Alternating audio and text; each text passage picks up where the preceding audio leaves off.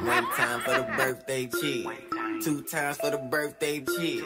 Three times for the birthday cheer. Go ahead and visit your birthday cheer. Pick up and visit your birthday. Pick up and it's your birthday. Pick up and it's your birthday.